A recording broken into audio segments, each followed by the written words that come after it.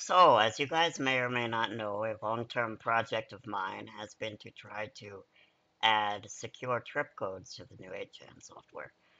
But I didn't actually know the best way to do it, and I've been thinking a lot about it. And I was thinking that probably the best way to do it would be key signing. So the problem with key signing though is I can't just allow the server to be the only one that's trusted with the key. And I did want to use GPG at first, but the GPG private keys are too long. They're uh, 1024 bytes just to be, you know, secure. So it wouldn't work for the same kind of uh, private key thing that I want to do. I want to make it so that you can type, you know, a password like you do now for a secure trip code. And that will be enough bytes to properly encrypt the document. Um, or not encrypt, but sign the document. And still people can't guess your key. So ED25519 which is used in libsodium, is only 64 bytes. But uh, I would have to write all sorts of infrastructure for that to work properly. So that's what I'm doing. I'm the first thing I was going to write was a key manager, but the problem is I before then I didn't actually know how to write GUIs very well, desktop GUIs. Uh, I'd done it before, of course. Um, the last time that I had wrote a desktop GUI was actually when I was in high school, believe it or not. And um, I had written a game for one of my classes. I had wrote like a board game that we had to make, and that was a lot of fun. But I feel like I didn't really uh, do a good job looking back at it today because I used GTK and GTK is a real mess. It's really hard to use. Uh, it, it's just it it's just really I don't like it. It looks like crap on Windows. Like I made my game in uh, Linux because that's what I've been using since I was 12, and then I had to make a Windows version, you know, after I was all done, so that it would work on the school computer for my class. And it, it just, the native rendering of GTK wasn't good. It, it looked really bad. So, of course, the teacher still gave me an A because everybody else used construction paper to make their board game, and I wrote a computer program, so I got an A, but it, it, it really didn't look good, so. And then, you know, after that, uh, I started a lot of web development stuff, and I haven't done any desktop development in such a long time. Until now. So I was writing my key manager, but I didn't really know how to use Qt, which is what I decided to use for the key manager.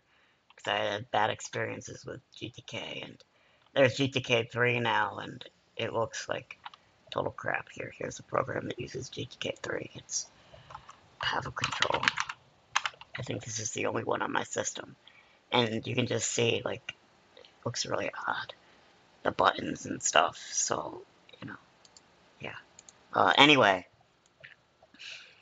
so I decided this time around I was going to use Qt because Qt is better. So I did, and when I was writing the key manager, I noticed I didn't really know what I was doing. So I decided to work on a hobby project so that I could try to learn about Qt until I do the real thing, which will be a key manager for libsodium ED25519 keys. Uh, but a friend of mine asked me if he knew a way that I could show the keys that he was pressing on the screen, like in Temple OS, so that he can make like a Blender tutorial. And um, I don't know if you guys have ever used Blender. It's very keyboard heavy. I have it on my computer. I don't I don't really know what I'm doing though. I didn't make it for me. So here's Blender. Hold on, it's overflowing my, there we go. So, um, in Blender, you know, you have to do a lot of clicking and stuff like this. Middle clicks and control and then scroll wheel. And if you were to be making a Blender tutorial, half the time that you're making the tutorial would be full of saying things like, okay, and now I'm pressing Shift A, and uh, now I'm pressing R to get a circle. There's my circle. Oh, what is that? Maybe that's not a circle. I don't really know how to use this. Oh no, it's a camera. Okay, well, maybe that's what it is. No, it's not a camera either. Okay, I don't actually know. It's been so long since I used this program. Let's see, what did I click again? Shift A, and then Shift A, and then... Oh, it is a camera. But when I hit zero... Okay, well, it, it doesn't matter. I, I don't I don't know what I'm doing. So... Or, say you were giving a tutorial about Vi, right? And instead of having to say all the time, well, now I'm pressing Control A to make the number go up by one, you could just do it.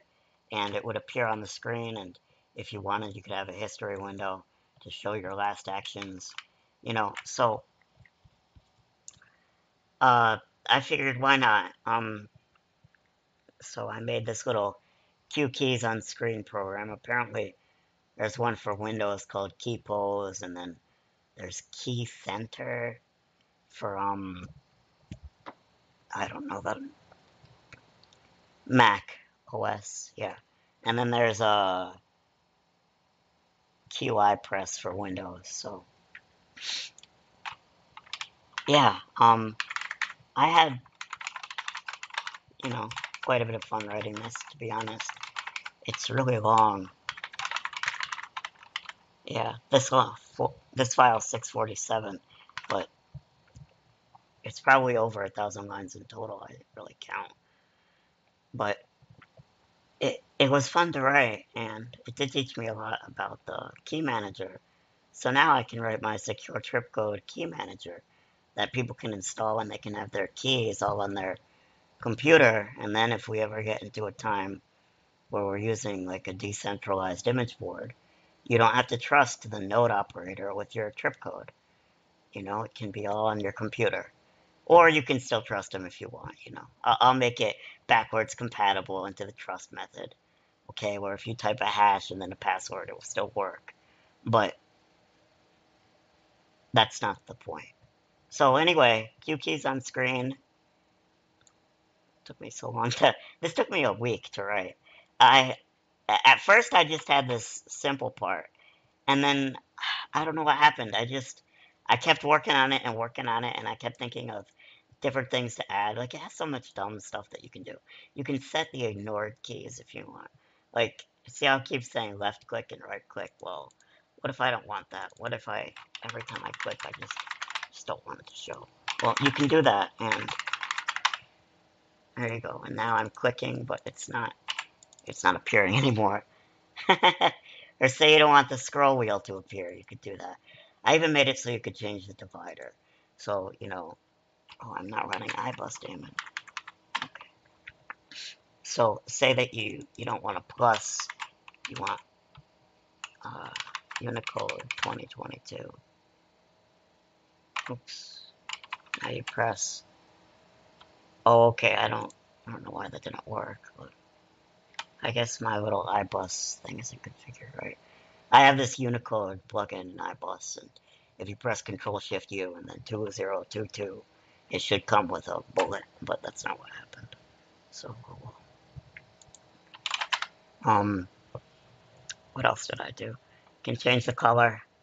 Now, this is provided by Qt. It's a Q color dialog, that, which is another nice thing about Qt, how much they provide. It was actually really easy. There's only one workaround that I had to do for a bug in Qt, which in my GTK game that I made in high school, I had so many workarounds that I had to do because GTK is so bad.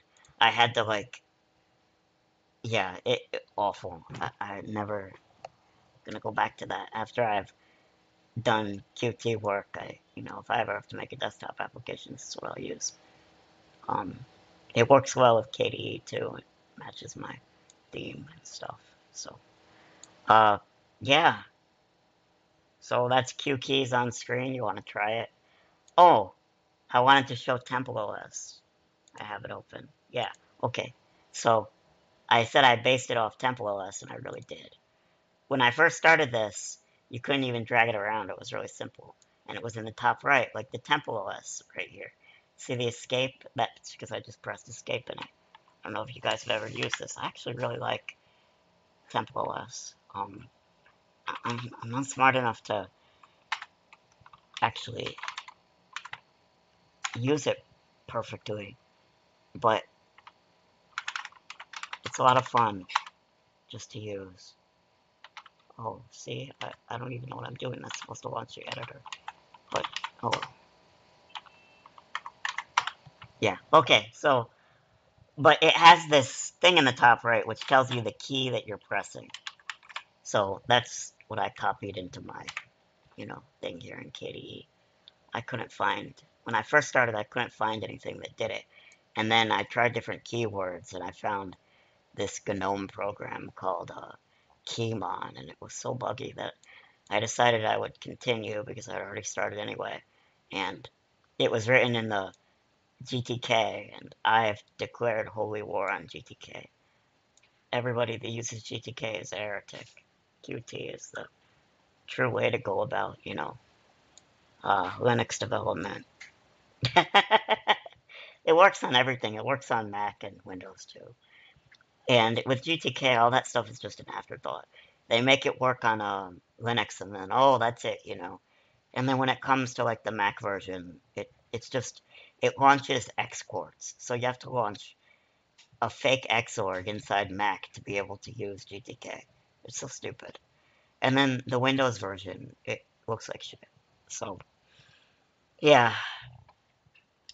Anyway, this is my, so that's my little program that I made. Uh, it was fun, kinda.